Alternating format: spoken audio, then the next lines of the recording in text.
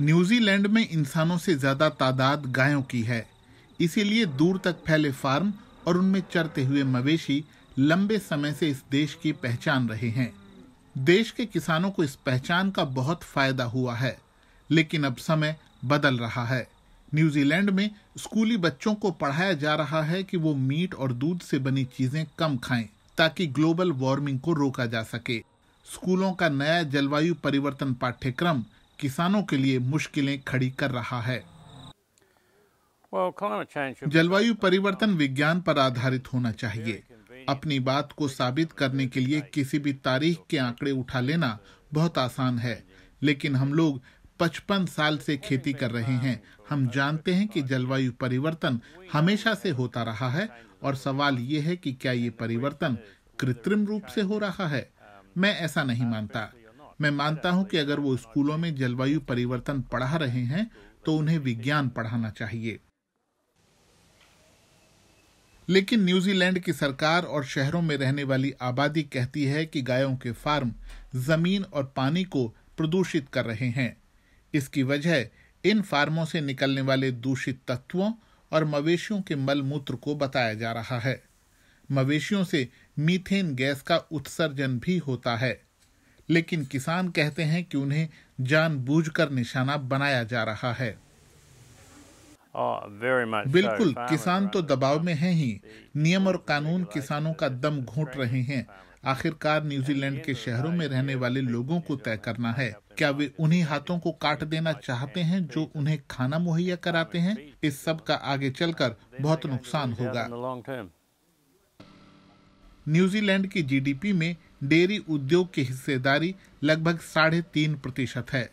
पिछले एक दशक में देश के डेयरी और मीट उत्पादों की मांग बहुत बढ़ी है।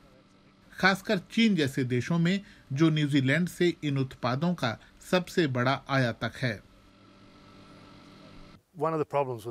ये एक समस्या है कि इससे लोग गुमराह हो सकते हैं। जहाँ तक बात जलवायु परिवर्तन की है तो इस बारे में भी तर्क के दो पहलू हैं। और उनमें से कोई भी अब तक पूरी तरह साबित नहीं हुआ है।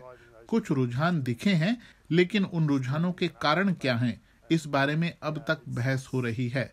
अगर लोग इसे सोशल इंजीनियरिंग से बदलने की कोशिश करते हैं तो ये बहुत खतरनाक है। न्यूजीलैंड की ग्रीन पार्टी स्कूलों में जलवायु परिवर्तन पाठ्यक्रम को बहुत ज़रूरी मानती है। पार्टी के सदस्य कहते हैं कि देश को 2050 तक कार्बन न्यूट्रल बनाने के सरकार के लक्ष्य को पूरा करना है तो ऐसे कदम बहुत ज़रूरी हैं। मुझे लगता है कि इसे स्कूलों में पढ़ाने से बहुत मदद मिलेगी। बहुत सारे स्कूलों में जलवायु के लिए हड़ताल करने वाली टीमें भी हैं। जो हमने इस बारे में सीखा है खुद सीखा है लोगों से सीखा है सुना है और सेमिनारों में जाकर जाना है। हमें स्कूली शिक्षा में ऐसा कुछ नहीं पढ़ाया गया था। तो ये हमारे पाठ्यक्रम में अभी भी एक कमी है जबकि इसका संबंध हमारे भविष्य से है और हमारे वर्तमान से है। टिम फान डे मोलन इस इलाके से सांसद हैं और आज वो यहाँ कुछ किसानों से मिल रहे हैं।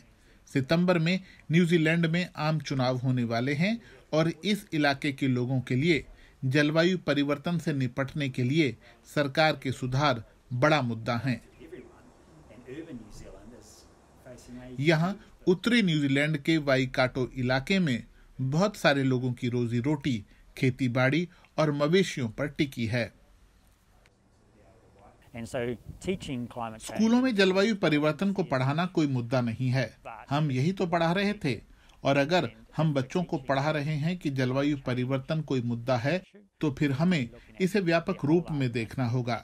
हमें इस बारे में अलग अलग नज़रिए सामने रखने होंगे ताकि बच्चे अपने लिए सही फैसला कर सकें।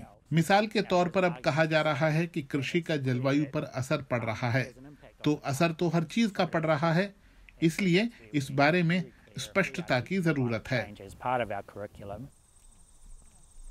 नए जलवायु परिवर्तन पाठ्यक्रम में सघन खेती को ग्रीन हाउस गैसों के उत्सर्जन की एक बड़ी वजह माना गया है और इसीलिए मीट और डेयरी प्रोडक्ट कम खाने की दलील दी जा रही है।